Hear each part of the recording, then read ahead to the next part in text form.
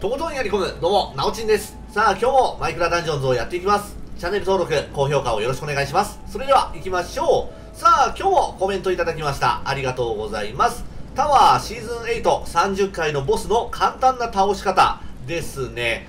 結構今回色々あるんですけども、この方法、俺結構好きです。では、説明しながら進んでいきます。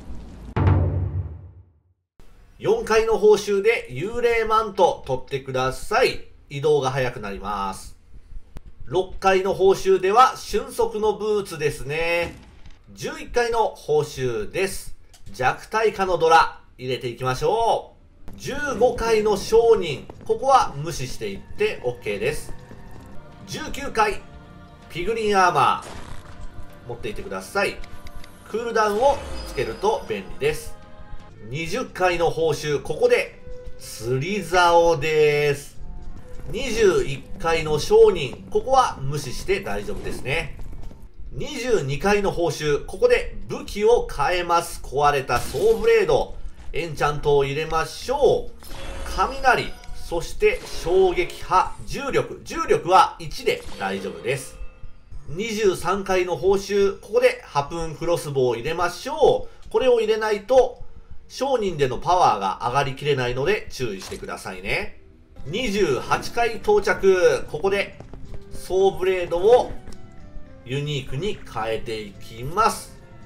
性能はね、そんな変わらないんだけども、パワーが上がるんでいいんだよね。そして、29回スケールメイル装備していきましょう。攻撃力が30%上がります。では、1回に戻って、ボスに挑戦します。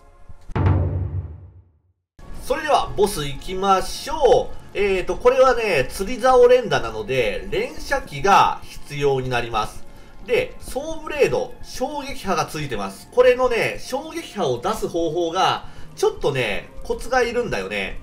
えー、ポンポンってね、2回押すと、衝撃波が連射します。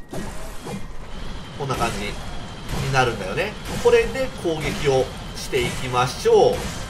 ちょっと慣れないと難しいかもしれないですけども、慣れれば楽勝です。最初にドラを当ててやっていくね。来い。あ、ミスった。ミスった。完全にミスった。出た。しゃこれね。失敗したらちょっと辛いな。でも成功するとこんな感じになります。はい俺もまだまだ未熟でした。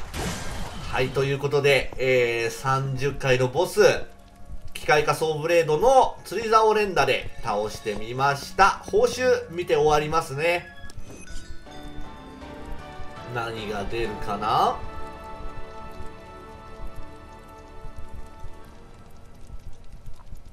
ダメだな。全部ノーマルだ。わあ、珍しいね。こんな全部ノーマルなんて。はい。